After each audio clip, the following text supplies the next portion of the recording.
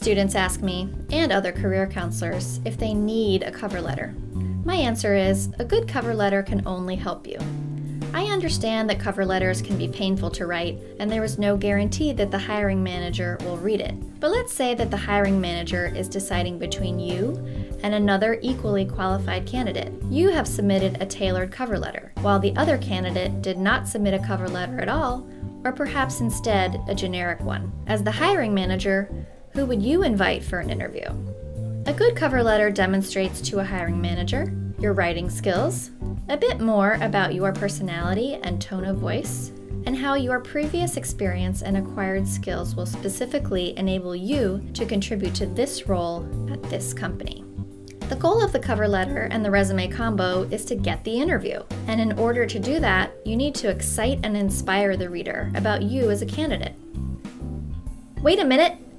Before you start typing away, you need to do some research first about the position. Highlight the major requirements, skills, and experiences the employer has listed for the position. Then, go back over those qualifications that you highlighted and circle the key skills and experiences that are your strengths. Really, this should be the two or three qualities that are both most important to the key functions of the job and your strongest attributes. Once you have all the points highlighted, now you can start structuring your cover letter. I've also asked my purple pet squirrel Harry to give you some advice.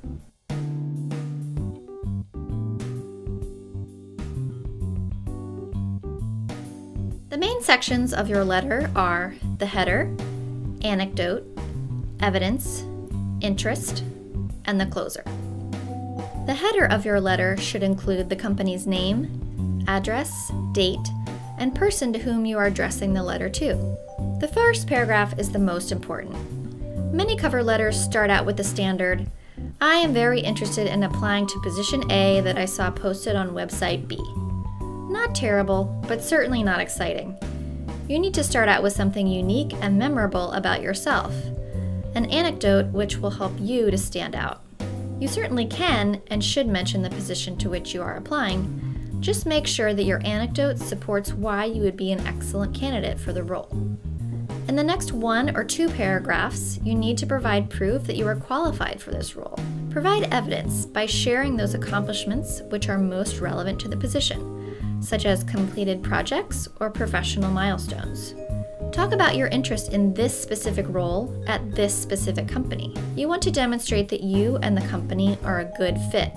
Make a reference to an interaction you have had with a company professional, an industry or company that the company works closely with, where you have an interest or area of expertise, or an interesting storyline you have been following.